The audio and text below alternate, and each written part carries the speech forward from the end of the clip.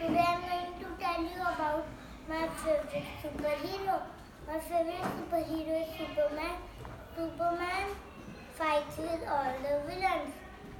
Love you, Superman. Thank.